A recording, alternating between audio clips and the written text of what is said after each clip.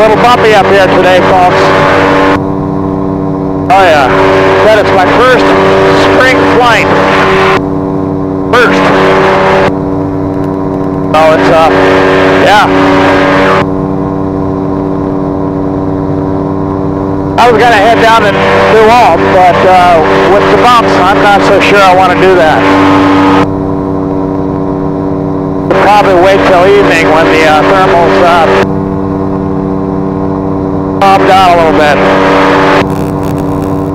But I got to say, huh, you know, I mean, uh, I am flying here. The Kolbra's running great started good. I had to use a uh, jump start on it, but it uh, it did work. So I'm happy, you know, I'm happy about that, of course. Coming into west downwind. Uh, so yeah, I gotta gonna be a interesting summer. We'll see how things go.